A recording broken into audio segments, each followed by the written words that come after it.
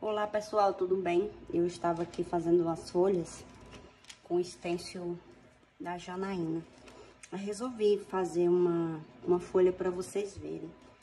Eu tingi a massa com verde claro. Eu venho, vou espichar essa massa. Vou abrir, né? Uns falam espichar, outros falam abrir. Vou abrir no tamanho que eu desejar para cortar minha folha.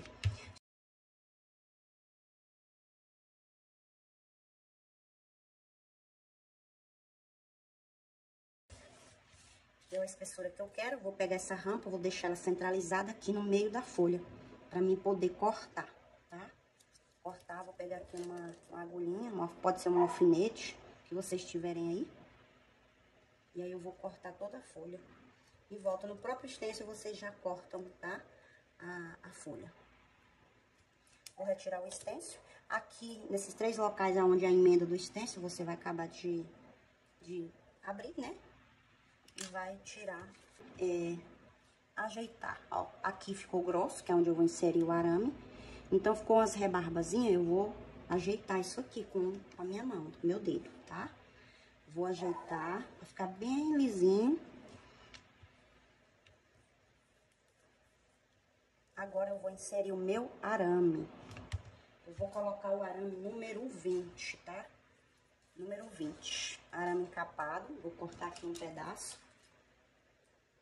Eu gosto de um pedaço bem, bem generoso pra sobrar, tá? Vou passar aqui na água, vou inserir, tá? O arame. Vou é, rodando assim, fazendo, girando pra ele não, não dar problema, tá? Até onde eu vejo que termina a minha rampa. Vou dar uma baixadinha nessa rampa, porque senão vai dar problema na hora de, de usar o stencil, tá?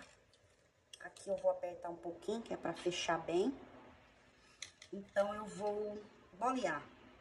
Pegar meu boleador. Pode ser numa plaquinha de EVA, tá? O que vocês preferirem. Eu até tenho uma plaquinha de EVA, mas eu gosto muito de bolear na mão. Eu que eu já acostumei.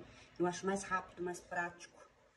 Tem coisas que a gente compra, mas a gente usa pouco porque a gente acha mais prático. Cada um vai adaptando uma forma de trabalhar, né? Então, eu, eu gosto de fazer na mão. Então, vai, ó, ficou bem fininho as laterais da folha. Se você ver que não ficou, vai boleando. Aqui é uma, uma plaquinha de EVA, caso você tenha em casa, né? Pra bolear, pra afinar as bordas. Vou posicionar aqui o meu stencil, né? Em cima da minha folha. Aqui eu misturei tinta verde oliva, acrílica fosca, verde musgo e um pouquinho de azul marinho. Posso fazer só com uma cor só? Pode, mas nesse caso aqui eu queria uma cor mais escura. Então, eu fiz a mistura de três para chegar no tom que eu queria. Com o pincel pituá, né, eu vou pegando aos poucos e vou pintando a minha, a minha folha. Pode ser batidinha, pode ser movimento circular, o que vocês achar que é melhor para vocês aí.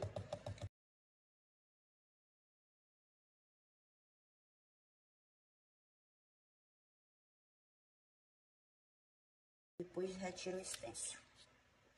Tá aqui a nossa, a nossa pintura. Aí, eu gosto muito de usar esse pincel é, chato para fazer um acabamentozinho. Como assim? Eu vou pegar aqui um pouquinho de tinta de um do lado do pincel, aonde ficou assim meio tremidinho por causa do stencil, às vezes pode ficar, não, não é todo o caso, aí eu vou dar só uma ajustada, tá? Pra ficar bem lisinho, pra não ficar tremido. Pode acontecer dependendo também da quantidade de tinta, né? Se você usar muita tinta, pode ficar mais. Eu vou ajeitar toda a parte para deixar um pouquinho mais trabalhado aqui, mais liso.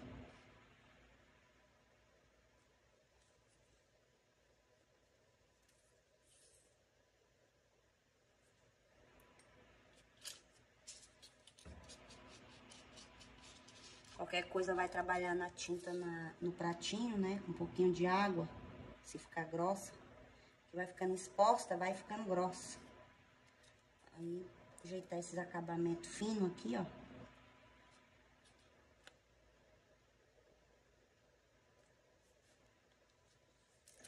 E aí, depois que ajeitou, você viu que tá do seu gosto, aí você vai fazer os contornos, né? Essa folha aqui tem contorno.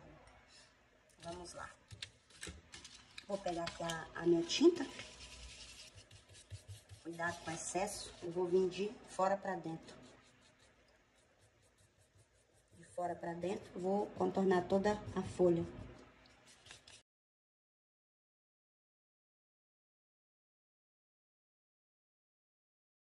Né?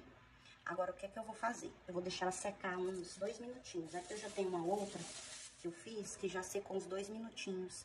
Aí, o que é que eu vou fazer? Eu vou pegar, vou dar uma vincada aqui no meio, ó, devagar, com cuidado, para não estragar. Que aqui a parte do meio ela tá um pouquinho grossa, né? Por causa da rampa. Então eu vou apertando devagar. Só para dar uma leve vincada. Aqui eu posso vincar bem, que não tem arame, mas aonde tem um arame, com cuidado, tá? Pra ela dar uma, ó, ela vai abrir. Vai abrir aqui e aqui vai ficar fundo.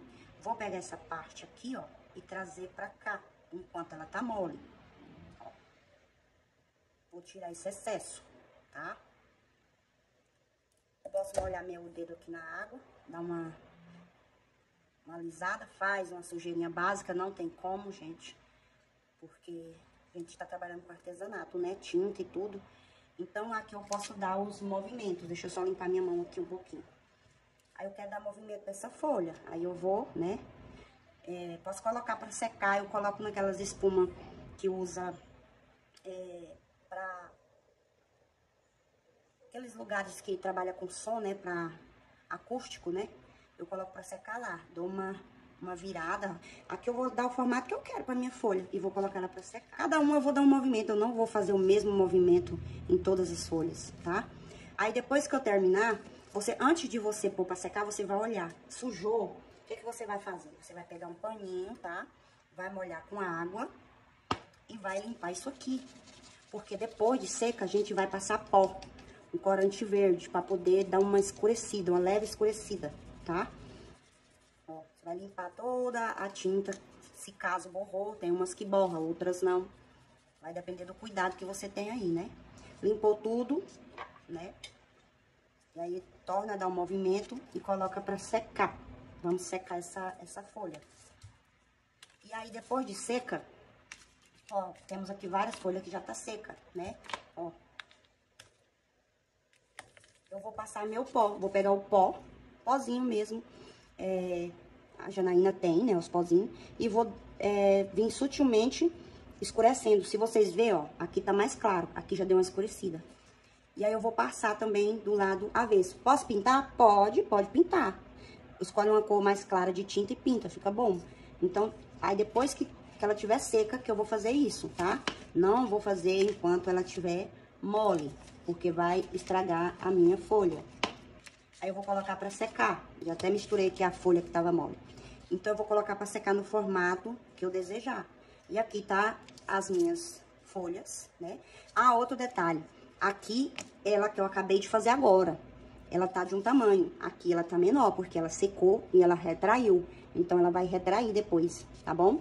E aí, eu usei o extenso de Janaína e o pozinho também, o corante, né? Pra poder fazer o acabamento. O pincel pituar, né? Castelo, o que vocês preferirem, que vocês tiver em casa.